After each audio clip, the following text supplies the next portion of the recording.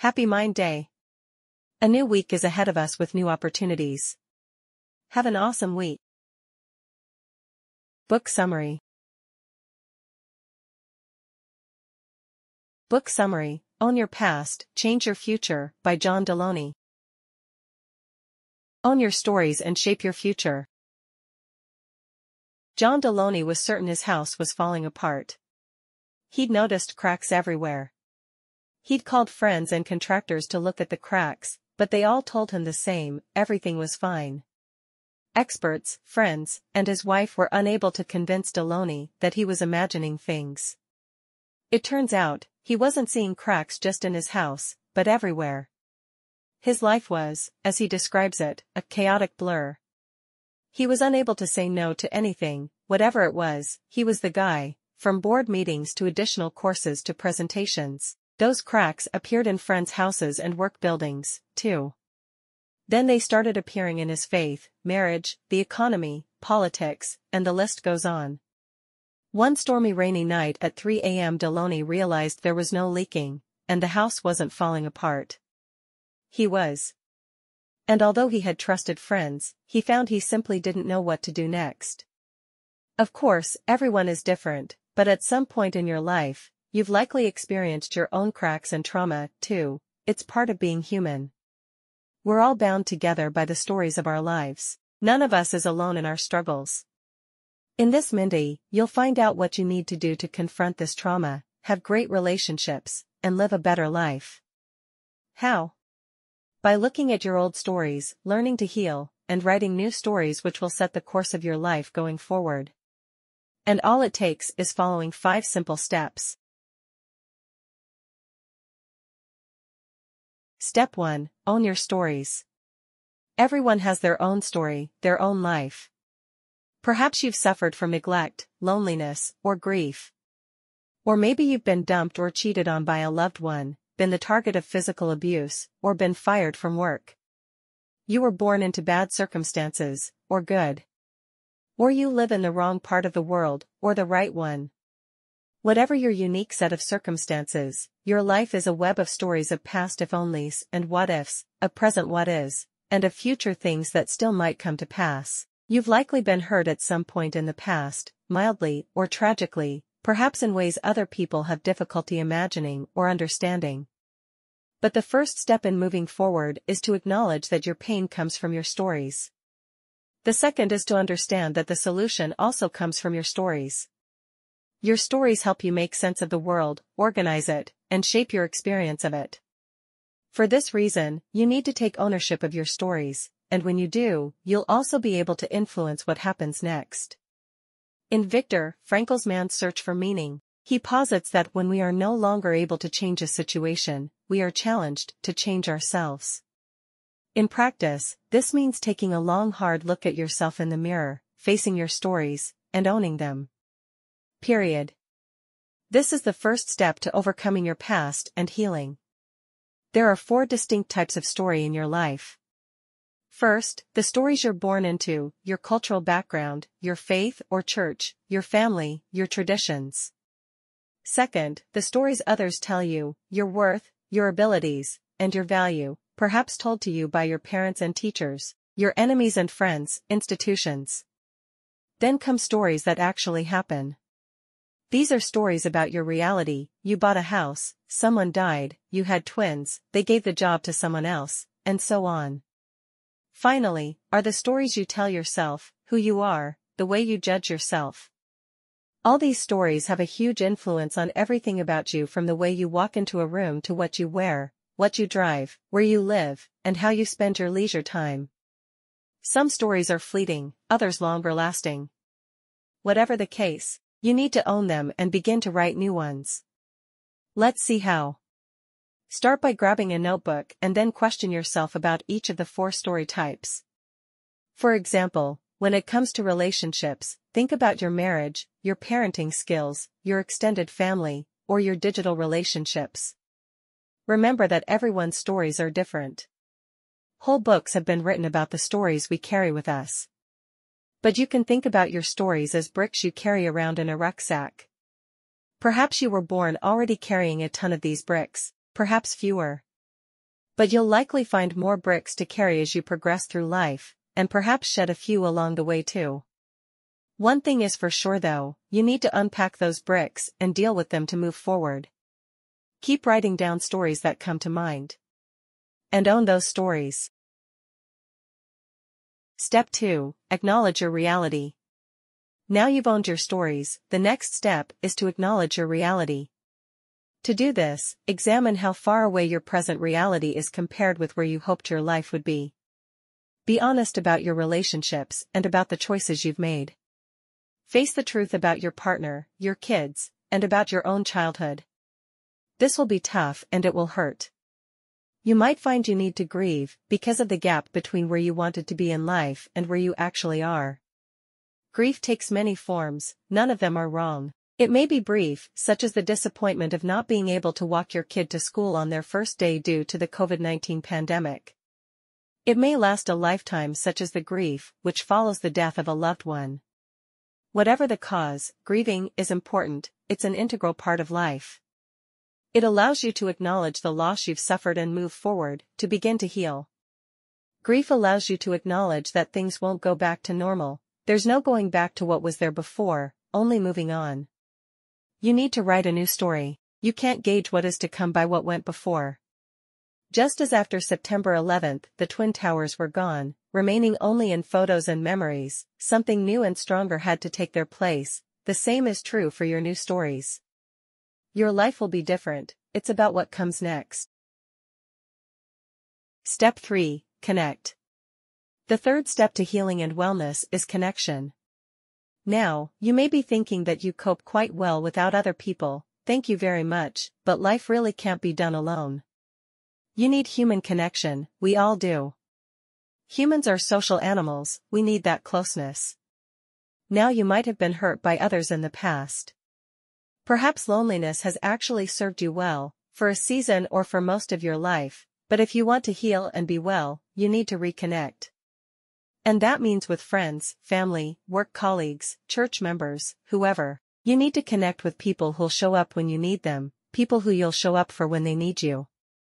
In today's world that might seem easier said than done, impossible even. But it's not. There are some relationships you simply don't get to choose, relatives, in-laws, work colleagues, neighbors, or even your kid's teacher, for instance. But it's possible for them to also become your friends. What exactly defines friendship though? Delony says there are four questions you can ask yourself to determine who is a friend and who is simply an acquaintance. First, can you tell them the good things in your life? Do you share the big moments in your life with them? Do they celebrate with you? If they're not interested, they're simply not your friends. Second, can you tell them the bad things? Who do you call when you've really messed up? Who is going to hold you accountable for your actions? And yes, there are plenty out there who want to hear your bad news, but are they trustworthy? Or are they just after juicy gossip? Your friends are the ones with whom you can be completely honest. Third, can you tell them about your darkest moments? The bad memories and stories in your life? Times you were hurt? A friend is someone who'll listen to you and won't respond with cliches or unsolicited advice. And the next day they'll come back for more until you're done. And fourth, the biggie, will they show up? Will they be there for you at 3 o'clock a.m.? When you have an emergency? Will they help you move house, drop you off at the airport for your early flight, or perhaps even get a tattoo with you? Will you show up for them too? Here are six ways you can begin to find these real friends. 1. Make it a priority, decide to do it and make the effort. 2. Consider shared experiences. Take a class, join a team, go hunting or fishing with someone, watch a concert together, Start a club, join a musical group. Whatever it is, share it. 3. Be the one to make the move. Ask people over. Ask them if they want to be your real friend, literally. It might be weird. It might be awkward. But ask anyway. 4. Always say yes to invitations and adventures when you can. Again, it's all about those shared experiences. 5. Get out of your neck of the woods and be where other people are. And 6. Find people to serve. Find somewhere to volunteer, somewhere you can make a difference. Use your skills and talents. Better still, invite people to join you in these activities too. Step 4. Change your thoughts. You've already seen that in order to change your life you need to own your stories, acknowledge your reality, and get connected. Now it's time to change your thoughts. What exactly does that mean? Well, you know those voices you hear in your head that never stop commenting, passing judgment, approving of what you do, or otherwise? We all experience that, all day, every day. You might not be able to stop them, but you can control them. Let's try a little experiment. Close your eyes. Now picture a purple elephant wearing a yellow hat. Is the elephant sitting or standing in your picture? It's not important, but you can see that elephant, right? And that clearly demonstrates the power you have over your thoughts. So whatever thoughts come into your mind, whether they're about news of wars, climate change, money woes, faith questions, or whatever else, you have the power to decide whether you meditate on those thoughts or simply let them go. You also need to be discerning about which thoughts you allow in. Be conscious of the media you consume. You don't need to pretend the bad and evil in the world don't exist, but you can stop endlessly doomscrolling. Instead, listen to good music, watch uplifting films and series, and read more beautiful things. You should also be intentional. This means examining your thoughts and asking yourself, is this moving me closer to who I want to be? If not, let those thoughts go. Open yourself up to possibility and opportunity. Stop carrying those negative thoughts, weed them out, don't give them room to grow. It'll take time, but practice daily. The same with letting the positive thoughts in and cultivating them. Here's an exercise that can help you control your thoughts. Start by writing them down. Keep a small notebook. Write every day. Notice how your thoughts also relate to your stories. When you write them down, you'll gain more control over them. Think about what you feel too. Is there any truth in your thoughts or are they simply fakes? Look for the evidence to support them. Dismiss the lies and confront the truths. Take control of those thoughts. Step 5 Change your actions. And now we're on to the fifth and final step change your actions. This can be tricky, you see, your brain prefers the familiar, it thinks of these as being safe. This is why you're destined to repeat the same things again and again. Unless you change that is. Better the devil you know? Definitely not. Rattle your cage and take action. Here's how. First, stop with the I'm not an exercise person and I've never been a reader and the myriad other excuses you tell yourself. Even if some of those things are true, you're never too old, too poor, or too whatever to take action. Even not taking an action is an action in itself. But is not taking action getting you closer or further away from the person you want to be? So become disciplined. Make that decision now and don't let the excuses get in the way of your achievements. Take a look at what you're already doing. Write an inventory. This gives you a point of reference. Think about how you treat your body from how often you go to the doctor and dentist to whether you're getting enough sleep. Then think about your family, friends, and community. Are you making enough time for them? When you've done that, think about your work. How do you feel about it? Are you making enough money? Is it fulfilling? Next, what about your faith? Your home environment? The way you treat others? Then think about the person you are and compare it with the person you want to be. What is the identity of that person? What actions do you need to take in order to get there? For example, if you're not happy with your job, what will you do to get a new one? Look for the little wins, too, things that will move you forward to your desired identity. Always late? Then set an action never to be late again. Get a watch. Plan. Set your watch.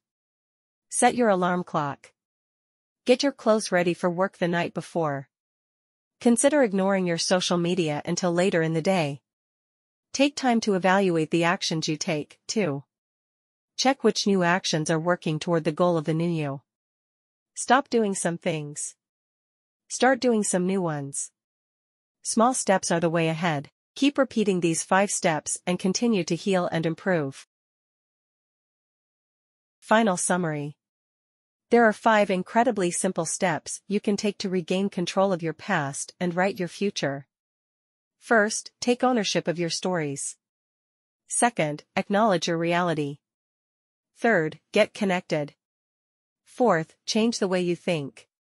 And fifth, change the way you act. That's it. But remember although they sound simple, it's a hard path to take. Most people won't even set out on this path. Some may, but will give up. But if you do take this route, it will change your life. Be strong. You can do it. Start now. Thank you for listening to or watching this Minday episode. We hope you like it. It would be an honor if you would like to leave a comment, like it, and subscribe to our channels on Spotify and YouTube. The Lange Times is for you and we hope you are with us on this journey.